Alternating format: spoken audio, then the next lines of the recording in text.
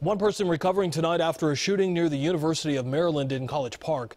Police say the shooting happened on Rhode Island near the College Park campus tonight. Right now, Prince George's County Police are searching for the shooter who was last seen running toward the metro.